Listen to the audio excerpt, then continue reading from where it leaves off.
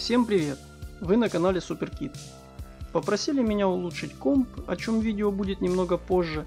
Так вот, одной из комплектующих для такого улучшения будет SSD GoodRAM Iridium на 120 ГБ. Ну и цель этого видео потестировать этот накопитель. SSD поставляется в коробке, на которой указаны характеристики. Так заявленная скорость чтения до 550 МБ в секунду, а скорость записи до 530 МБ в секунду. Емкость 120 ГБ, тип памяти MLC, SATA 3, форм-фактор 2,5 дюйма.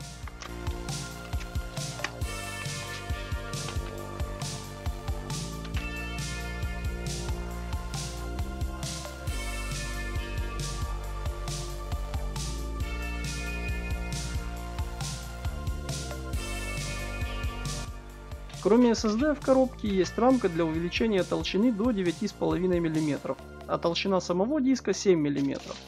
Также для подключения твердотельника я отдельно купил кабель SATA. Давайте подключать и переходить к тестам.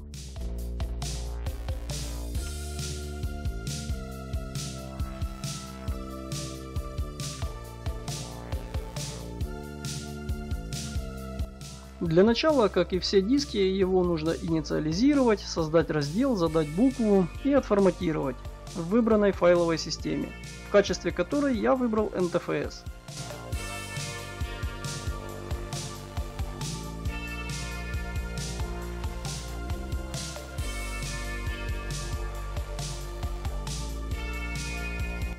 Для самого теста буду использовать несколько стандартных программ.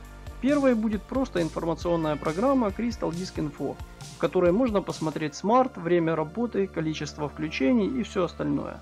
При этом не отображается состояние в процентном виде. Также нет этой инфы и в SSD Live. Ну а теперь и скоростной тест программой Crystal Disk Mark.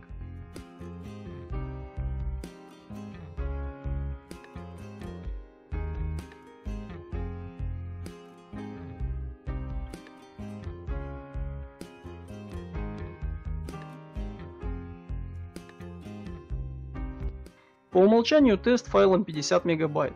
Для тех, кто думает, что есть разница при записываемом файле большей емкости, сделаю тест файлом 500 мегабайт.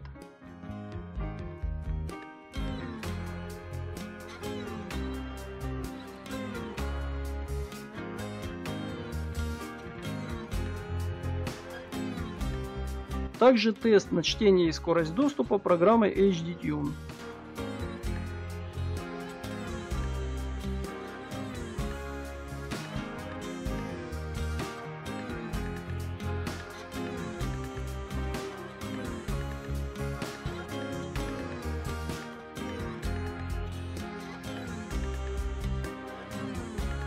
На сайте компании Goodram также можно ознакомиться с характеристиками продукции.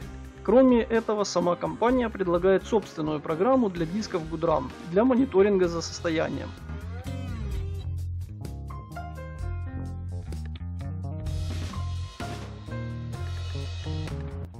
И эта программа, кроме уже увиденной другой прогой, показывает и объем записанных и считанных файлов, а также износ в процентном виде.